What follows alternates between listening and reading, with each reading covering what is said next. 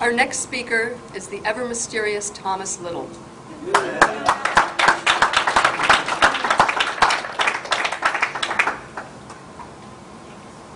Thank you, Moira. We're still good for volume in the back?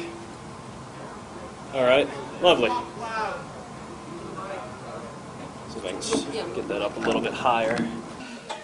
I'm Thomas Little, and my speech is entitled Deconstruction and Rematerialization. It's about what happens when you take stone carving, a medium that's been around for 10,000 years or more, and combine it with digital video. And this presentation is about my progression from being a traditional sculptor into a mixed media artist. So I will begin with some traditional sculpture. So our series of hands I did some years ago, this is how I got into the program. Just doing things of this nature. These are alabaster hands, life size, holding various tools. And another one here. And this one is more recent. It's a block of limestone. The drapery, that's that's made out of stone, that's carved into the stone. And see there's a hole in the shape of a vase. That's right, a vase. Go through to the other side where we have a more abstract geometrical composition. So in terms of skill and technique, I can carve just about anything I want to. But I was getting rather frustrated with this, this method of creating sculpture and displaying it for a couple of reasons. And the big one is stone carving is a very tactile medium. And there's a lot of different textures you can get in stone. But in a traditional display, in a gallery display, you don't really get that. And the viewer, viewer doesn't get the texture at all. It's just a visual experience. I mean, you can always put up a sign that says, please feel free to touch the sculptures, but even then, most people aren't going to do it. So to get around that, to get beyond that, I should say, second semester I made this piece here. It's called Virtual Zen. It's my old laptop that stopped working. So I took it apart, replaced the screen with this wood burning of a Japanese Zen garden. Those stones right there, those are actual stones protruding from the screen. I've got some white marble, some alabaster, and soapstone.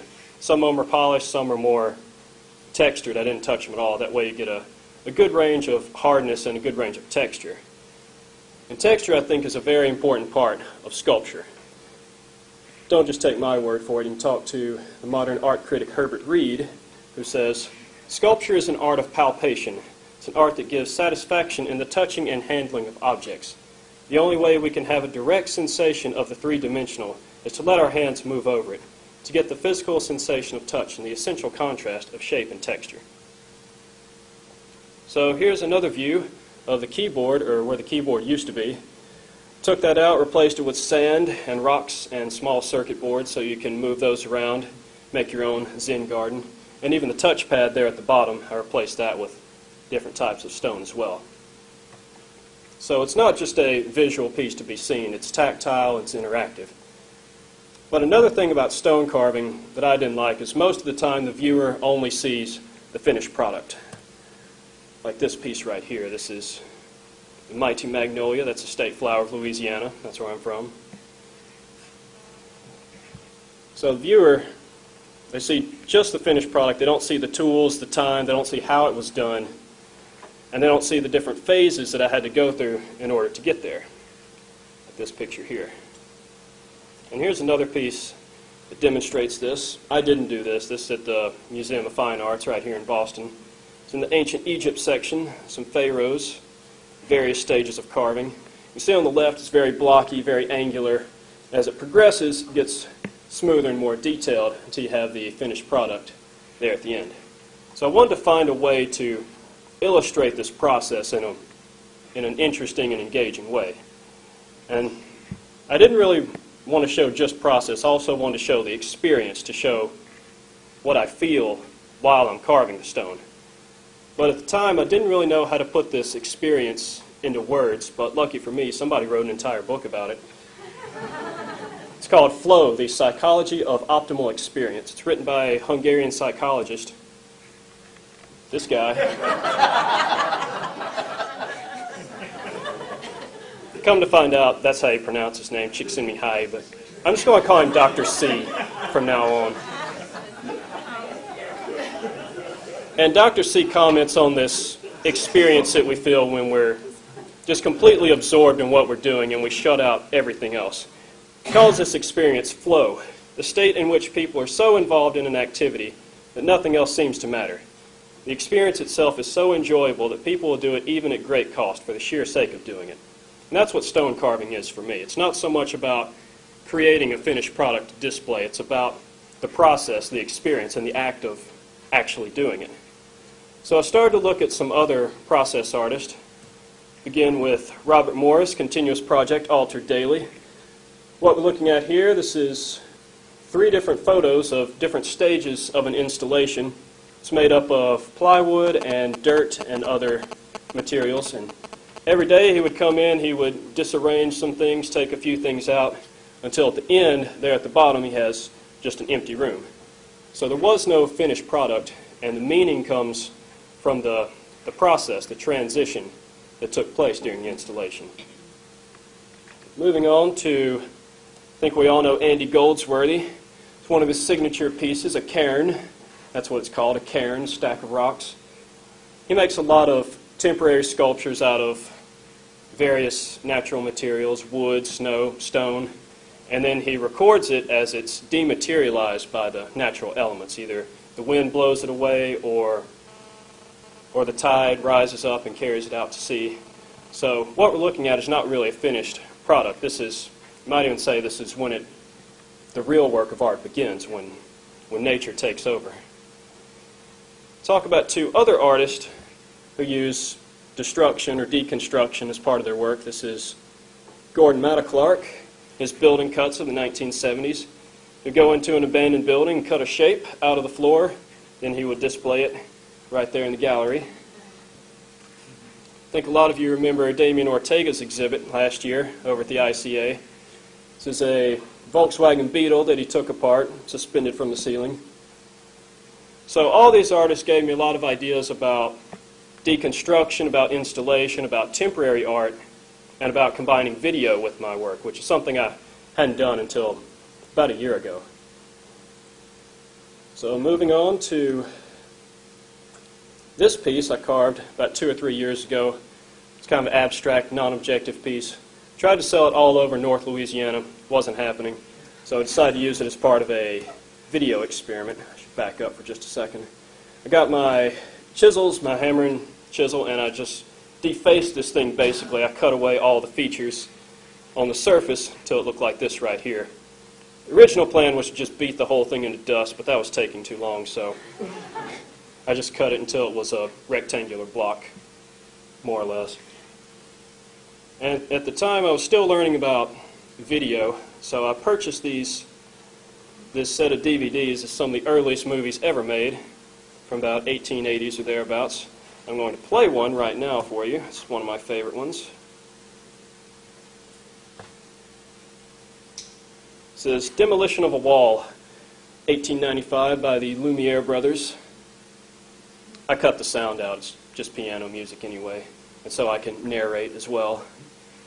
So what we see here, we got some guys, some workers about to knock this wall over using that crank contraption over there.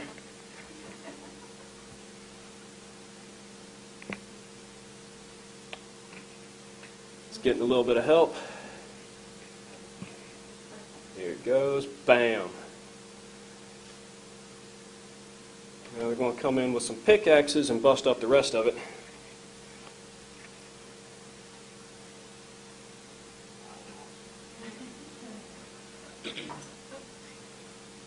Now in just a second here, it's going to cut to black and then video is going to start playing in reverse. There it goes.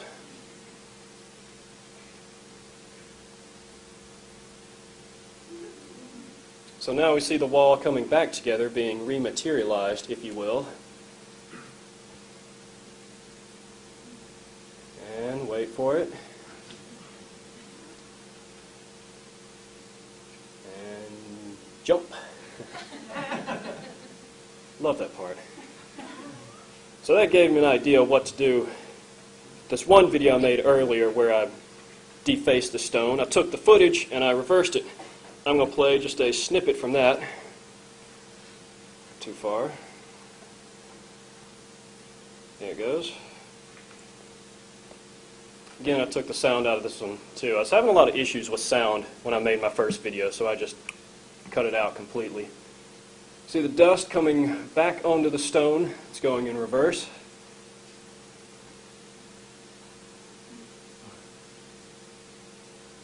Speeding it up, slowing it down. Makes it more interesting to watch. Otherwise, a video would be, you know, 15, 20 hours long.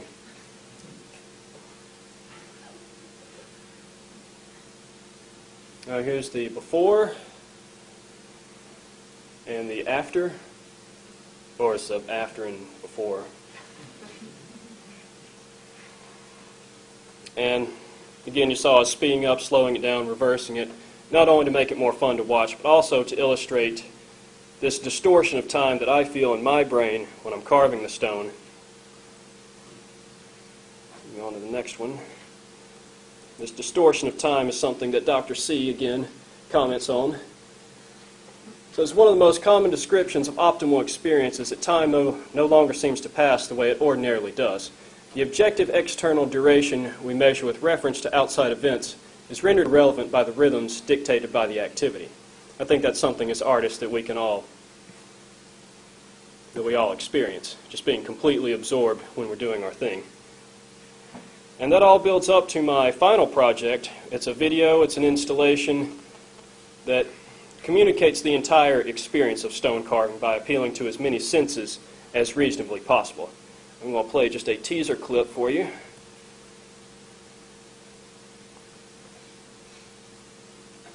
There it goes. Actually, I hadn't seen it on a big screen. I want to watch.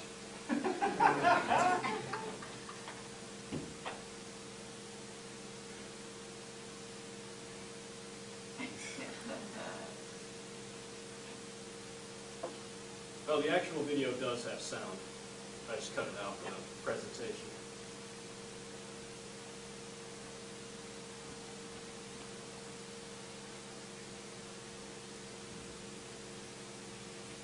And that is all you get to see tonight. Of course, if you want to see the whole thing, you have to come to the show next Saturday, 8 o'clock. So I will conclude with another quote by Dr. C. It says, The best moments in our lives usually occur when a person's body or mind is stretched to its limits in a voluntary effort to accomplish something difficult and worthwhile. And that's what this project has been for me, and that's what my experience at AIB has been as well. Thank you.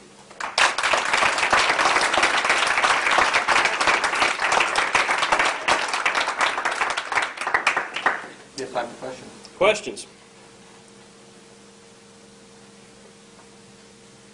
Cameron? I really enjoyed that, and Thank you. I've always really enjoyed watching films backwards, as many of us probably have. But what I missed is what that signifies for you, personally. Well, I think I forgot to talk about that. It's the. Sorry, I don't have a script. What that signifies, and actually it does signify something, is this sense of creation that I feel when I'm carving the stone, even though it's a subtractive medium. Mr. Newman, So what's the relation between creation and destruction? That's a very interesting question, and uh, that's one thing that my piece explores is, is there really a, that much of a distinction between creation and destruction, especially where stone carving's involved? It's, I mean, in order to create something, you have to destroy the material. Yes. Uh, Perhaps related and and- maybe uh, difficult to articulate, but I get the feeling that that your experience in the program, um, the the actual content of the sculpture itself became less important to you, or was something that you let go. And I'm wondering if that's, first of all, that's fair assessment, and second of all, if that's, if you think that's going to continue for you. I mean, the sculpture itself sort of became secondary to the act of negation. Right, that's absolutely right. I mean, started off, it was, I mean, I, I had a very classical, traditional training as an artist before coming into this thing. So it was all about the finished product. So But You're mean, right, is a- Is there a point at which it's about, I mean, do you miss the sort of act of creating something from nothing? Or is that, Creating something from nothing, you say? yeah, or the act of chiseling out, you know, starting with the, you know, the- the empty piece of stone and making something representational out of it? Not really, because again, I'm from North Louisiana, and selling stone carvings is a very hard thing to do. So, so I would much rather make a stone and destroy it and get it all on tape than make a stone and try to sell it and not.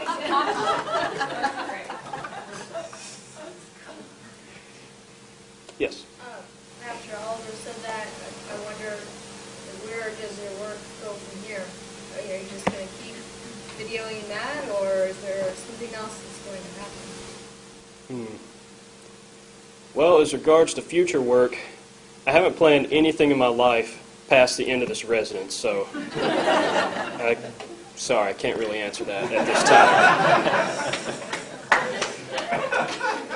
James, Um, did you look at all at William Kentridge's uh, videos of his work? No. His process of his work? He did a Yeah, um, yeah, you should, you should check it um, out there. creating something by playing the structure of something in reverse, and the opposite of that. I'll have to check into that, yeah. In the back corner? Thomas, um, I thought it was very interesting the transition that you went through between the production of a final object and the involvement in the process of whether you're using whether you're construction. What's your relationship now to what you end up with the final uh, object? What's your attachment to that object now that you've gone through the experience of either destroying or creating? Do you have a different rela- relationship now with that final piece? Are you less attached, more attached? Significantly less attached. I mean, there's no way not to be. Mr. Paces? Um, I hope it's not really true they haven't planned anything after um, Friday, um, next I'm sorry, that is the truth. Um, Well, I'm on your thesis defense committee, and I think you better think of something by then. I know. Because one of the things I think is very important is, is that, I mean, one of the things that this program is always about is planning what you're going to do next. I mean, that's what we do in all the residencies. And um, I would just hate to think that you're going to leave here and not have, not have a project, not have a thing you're planning to do next. I think it's extremely important to, to, to always have the next thing pulling you forward. Right. Well, my plan was to get the speech out of the way and then Okay? get, get the rest of my life in order. Okay. Thank you very much. Am I done? Thank you.